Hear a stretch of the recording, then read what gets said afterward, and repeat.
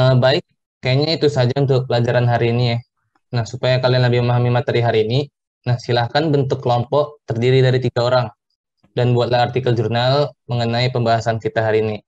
Nah, itu tugasnya dikumpul lusa ya, pukul 23.59. Nah, jangan sampai lupa dan jangan sampai telat. Baik, Pak. Pak. Mungkin kayaknya pelajaran hari ini sampai sini aja ya. Nah, jadi saya matiin dulu Zoom-nya. Oke, makasih semuanya. Terima kasih, Pak. Makasih, Terima kasih, Pak. Pak. Selamat pagi, Oke. Pak. Lagi.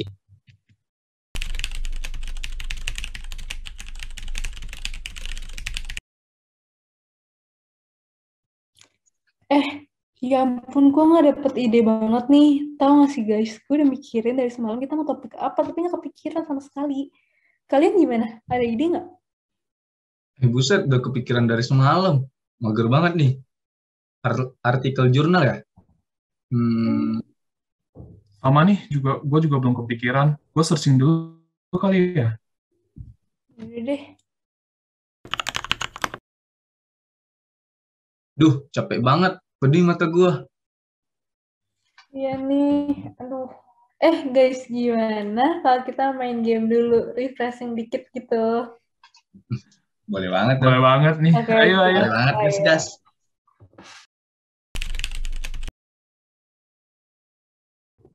Guys, lanjut besok aja kali ya. Capek banget nih. Besok kita kelas pagi juga. Iya, iya, lanjut besok aja. Iya nih, yaudah, yuk, bye semuanya. Kita lanjut besok ya. Dadah. Bye.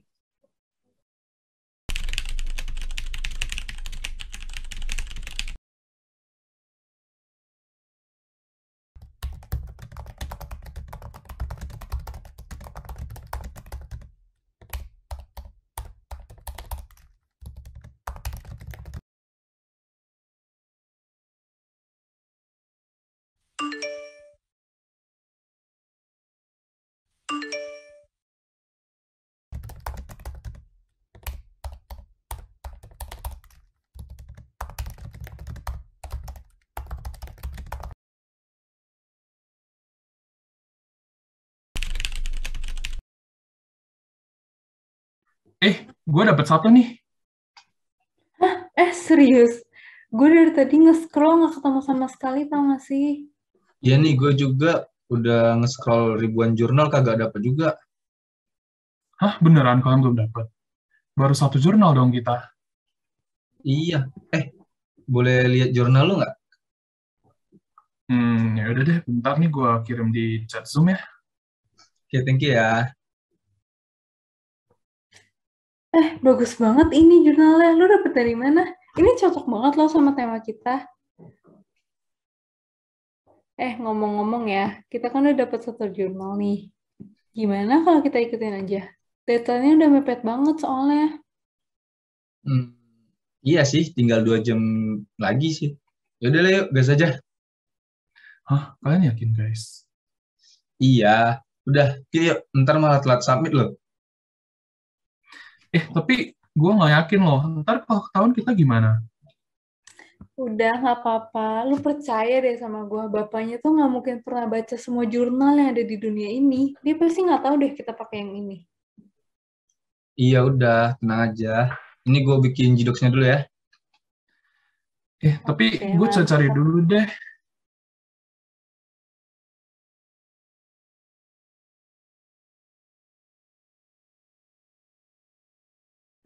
Mana nih jidoksnya? Sebentar. Itu ya guys, jidoksnya gue kirim di chat Zoom. Oke, mantap. Gue mulai copas-copas ya, guys. Eh guys, bentar dong. Gue coba cari jurnal lain lagi deh. Kita baru satu jurnal loh. Udah, ngapain dicari? Udah mepet banget. Nanti malah telat kumpul lagi. Gue juga kopas-kopas deh. Mending, iya, mending lo bantuin kita deh. Daripada ntar telat. Hmm, ya udah deh daripada telat.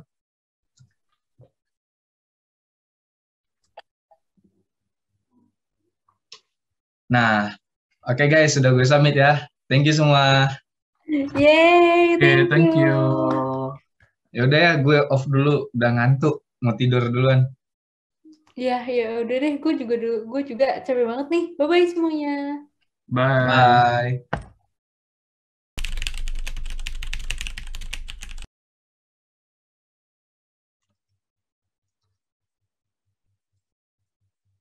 Hmm, plagiarisme dari Trinity-nya tinggi banget ya. Ambil dari mana nih mereka ya? Wah, di copy 100% nih kayaknya. Nggak bisa nih. Harus ketemu nih dengan kelompok mereka nih.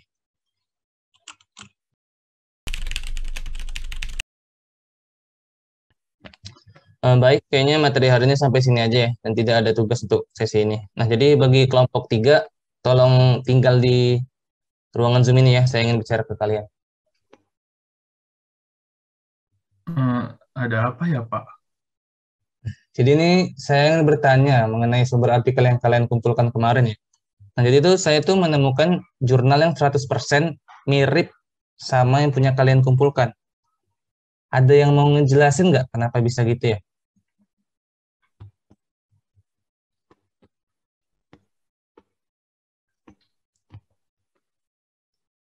Ayo, ada yang mau jelasin nggak? Masa udah mahasiswa nggak berani bertanggung jawab sih?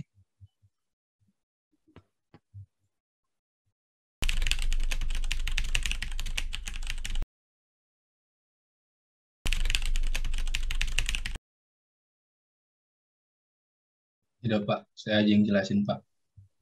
Iya, Iya Pak, kami minta maaf Pak. Kami mengaku salah, kami mengambil dari internet. Eh, kalau boleh Pak, boleh minta nomor rekeningnya nggak Pak? Ini ada eh, pemberian dari kami, semoga bisa membantu memperbaiki nilai kami Pak. Iya, Pak. Mohon diterima ya, Pak.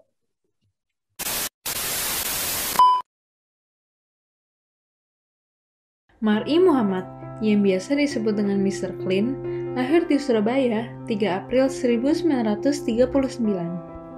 Pada tahun 1972, beliau menjabat sebagai Direktorat Jenderal Pembinaan BUMN Departemen Keuangan RI dengan posisi terakhir sebagai Direktur. Kemudian, pada tahun 1988, beliau menjabat sebagai Direktur Jenderal Direktorat Pajak Departemen Keuangan. Pada saat menjadi Direktur Jenderal Pajak, beliau berhasil mengumpulkan realisasi penerimaan pajak lebih dari 200%. Tanpa pandang bulu, beliau membersihkan kantornya dengan menjatuhkan hukuman bagi 1.615 pegawai Direktorat Pajak yang terbukti bersalah.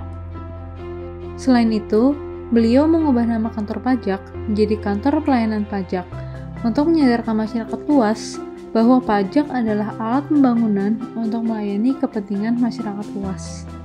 Tak berhenti sampai sana, Mari Muhammad diangkat oleh Presiden Soeharto untuk menjadi Menteri Keuangan Kabinet Pembangunan 6 pada 17 Maret 1993.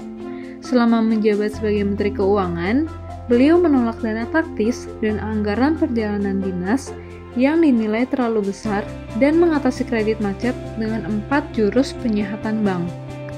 Mari Muhammad disebut sebagai Mr. Clean karena kontribusi yang dia berikan untuk memulihkan Indonesia dari koruptor dan pajak yang tidak tepat.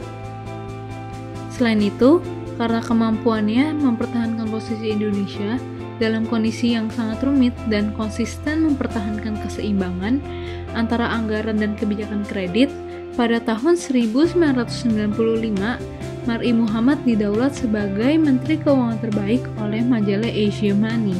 Tak berhenti sampai sana, Indonesia pada tahun 1997 berhasil menjadi pelopor bidang perekonomian di Asia Tenggara berkat kepemimpinan Mari Muhammad selama lima tahun. Pada tahun 1998, beliau adalah salah satu pendiri Masyarakat Transparansi Indonesia atau yang biasa disingkat dengan MTI. MTI merupakan lembaga yang menjadi awal terbentuknya Komisi Pemberantasan Korupsi atau yang bisa kita kenal dengan KPK. Pada Desember 1998 hingga 2009, beliau menjadi komisaris utama PT Bank Syariah Mega dan Ketua Palang Merah Indonesia atau PMI. Mari Muhammad wafat pada 11 Desember tahun 2016 di Rumah Sakit Pusat Otak Nasional. Dari kehidupan Mari Muhammad, banyak sekali hal yang dapat kita pelajari dan terapkan dalam kehidupan kita. Salah satunya adalah sikap jujur dan berani. Sebagai mahasiswa, sepantasnya kita tidak melakukan tindakan seperti penyuapan ataupun menerima suapan. Tindakan tersebut sangatlah salah dan termasuk dalam perbuatan pidana yang diatur oleh hukum Indonesia. Penyuapan merupakan salah satu tindakan korupsi yang diatur dalam Undang-Undang Nomor 31 Tahun 1999 dan Undang-Undang Nomor 20 Tahun 2001. Untuk menghindari perbuatan ini, kita harus dapat menumbuhkan sikap jujur seperti Mar'i Muhammad yang tidak menerima apa pun yang bukan menjadi miliknya. Dengan hidup sederhana dan rasa puas terhadap apa yang kita miliki, juga dapat membantu kita untuk menumbuhkan sikap kejujuran agar kita tidak melakukan tindakan penyuapan ataupun gratifikasi. Sejarah sering kali dianggap sebagai pelajaran yang tidak berguna. Namun, mengajarkan kita banyak hal tentang kehidupan kita saat ini. Seperti Mari Muhammad, kita dapat belajar poin penting seperti jujur dan berani. Tetap memiliki integritas di situasi apa pun sikap kejujuran dan berani membela keadilan dan kebenaran merupakan tantangan yang besar, namun harus dipelajari seiring menjalani kehidupan. Memiliki nilai yang tinggi dan uang yang banyak merupakan hal yang baik, namun tidak akan memiliki arti apa pun jika kita tidak memiliki sikap integritas, kejujuran, dan keberanian. Tidak hanya sebagai mahasiswa, semua masyarakat Indonesia juga harus dapat bertanggung jawab atas kewajibannya sebagai masyarakat Indonesia yaitu memajukan bangsa Indonesia. Namun, sering kali terjadi penyimpangan yang malah menyebabkan kerugian bagi bangsa Indonesia sendiri yang salah satunya itu adalah tindakan korupsi. Selain tindakan ini banyak merugikan bangsa, tindakan ini juga berdampak bagi banyak. Serta tindakan ini adalah akar-akar dari tindakan kriminal lainnya. Oleh sebab itu, kita dapat belajar dari Mary Muhammad untuk selalu bersikap jujur dan menerapkan nilai integritas dalam kehidupan sehari-hari, sehingga kita dapat berpartisipasi untuk memajukan bangsa.